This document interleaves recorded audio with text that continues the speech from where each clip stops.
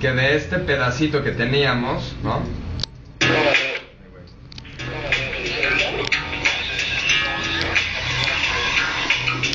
¿No? Ahora vamos a empezar a tener este solo fragmentos. ¿Sí? Ahora, estos fragmentos que, que se toman, ¿no? Estos fragmentos que toma este el módulo pueden tener diferentes variaciones. Variaciones de pitch, por ejemplo, ¿no? O sea, agarro el ten, tum, pero lo voy a transponer una cierta cantidad. Aquí, es, aquí se define esto, ¿no? El pitch shift y qué tanto vamos a tener de este pitch shift. Y después vamos a tener este, la posición. O sea, la posición es qué tan separados están mis líneas, en qué parte de la muestra se, se ubican, ¿sí? O sea, en qué parte eh, van a comenzar a tomar estos granos. Entonces tenemos lo que es cantidad y rate, ¿no? Por ejemplo, ahí estoy aumentando el rate, estoy aumentando la frecuencia con la que se va a desplazar, pero ya delimité una zona, ya no está de aquí a acá, ¿no?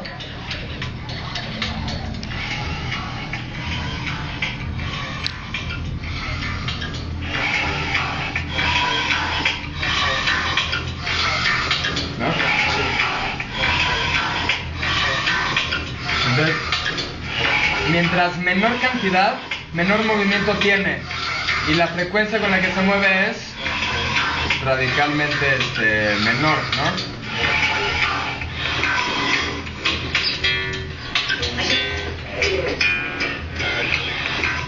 Aquí estoy desplazando el, el punto, pero ya tengo un cierto movimiento a una frecuencia muy lenta. Si subo esto, Pero son, son frecuencias, ¿verdad? Lo que subes. Lo que sube es frecuencias, pero no hay que confundirnos con las frecuencias del espectro, ¿no? Ajá. Es una frecuencia, o sea, un qué tan rápido es, qué, qué- qué tan rápido va a suceder este movimiento periódico, ¿no? A eso se refiere este, como un tempo, ¿no? Exactamente. Nada más que no está, no está sincronizado a un tiempo en particular.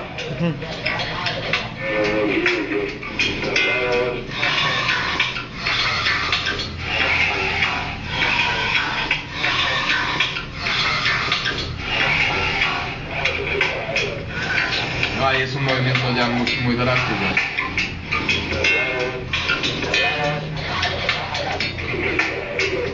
Ok, después tenemos... Vamos a dejarlo por acá.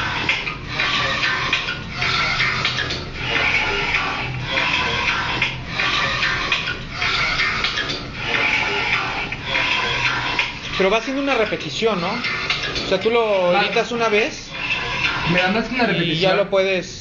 Fíjate estos dos intervalos cómo se van moviendo. Lo Sí. que hay adentro es el ah, ah, ah, Ujú. O sea, en realidad es un solo ah, pero como se va moviendo, lo va repitiendo ah, ah. Y el hecho de que cambie de tono, de que haga ah, en vez de que haga siempre ah, ah, ah, no hace ah, ah, ah, porque también tenemos un control que va a manipular el pitch, o sea, la altura tonal.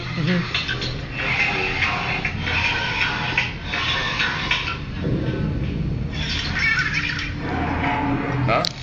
Ahí baja el pitch y lo sube.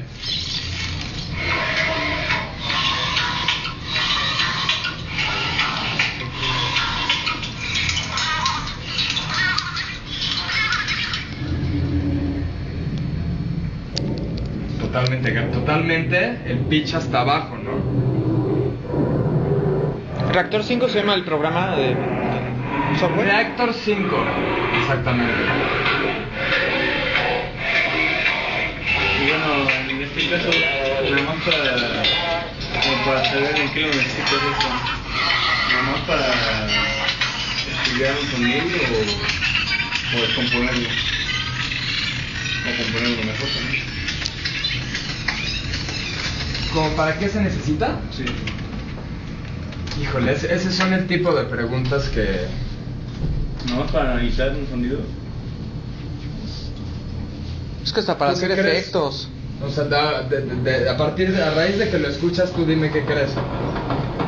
Pues puedes que casi cualquier efecto. Ujú. para una película, animación, tanto. Nunca me preguntan acerca de utilidad. Ah. ¿no? Sí, es para Todo esto todo, es creativo.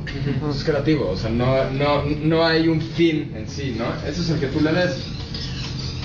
Igual esta, si quieres ponerle a una canción un intro acá medio pachecón, pues eso. Por ejemplo, tengo, tengo, yo tengo una rola en la que justamente utilizo este cinte. Bueno, es una maqueta, todavía no está terminada la rola.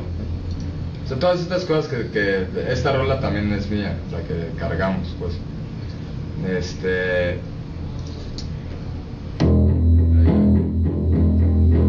Es una maquetita ahí inconclusa, pero justo tiene.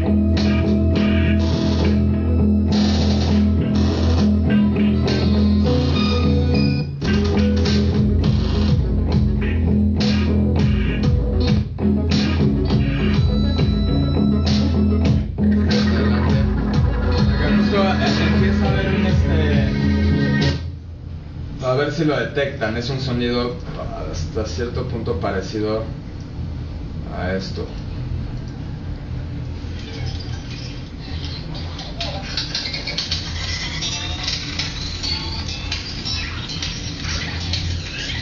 Algo así, parecido a eso, ¿no? Pero ya aplicado en, en- una composición, pues.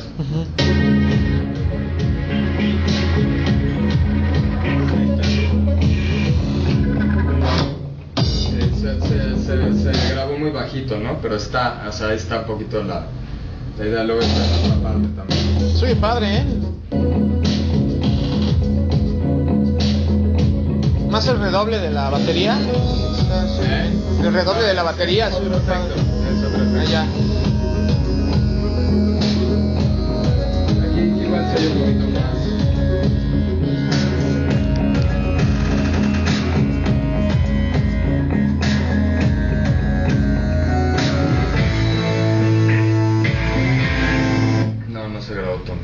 computadora está teniendo problemas al, al exportar los archivos. Pero bueno, a ver, no hay otro donde haya usado eso. O sea, y eso tú lo haces así por pura diversión. Son maquetas de. O sea, ten- tenemos como dos vertientes, como las rolas en electrónico y tocadas, montadas, ¿no? Entonces, esta es una maqueta de la versión electrónica. De, de esta maqueta tomamos varios sonidos, pero las montamos, ¿no? Con bajo, guitarra, batería y teclados. Este... Se puede decir que es como un sampler, ¿no? ¿Eh? ¿Qué? Como un sampler. ¿Qué? Cuando haces un sonido sencillo. No. Cuando compones algo sencillo, ¿no? Sin No. meter tanto arreglo. No, maqueta. ¿Maqueta? Maqueta, sí. Ah. O sea, un sampler y un sampleo son dos cosas totalmente distintas entre sí y muy distinta a lo que a lo que estamos a lo que estamos diciendo. De hecho, en esta clase si- hasta incluso si hoy nos da tiempo, hoy empezamos a ver lo que es el sampleo, Ah. El concepto del sample. A ver en esta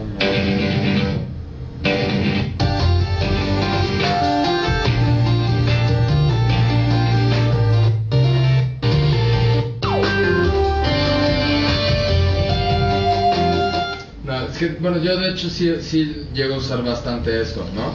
Pero como para pequeños arreglitos nada más. O sea, en, en algunos momentos un pequeño arreglo y listo. ¿no? Es como un plus, ¿no? Un acompañamiento corto. Pues es que puede hacer muchas cosas, ¿no? En realidad no hay este...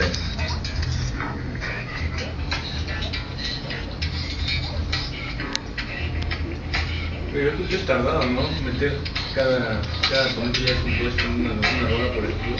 ¿Cómo? Has tardado que cada tono que ya los, los, los compusiste o compusiste en una rola, meterlo. ¿Te lo has tardado o qué Ah. Depende, depende del callo que tengas, depende de lo que es... De lo que quieras. De lo que quieras y, y de si ya sabes qué es lo que quieres, siempre vas a llegar mucho más rápido, ¿no?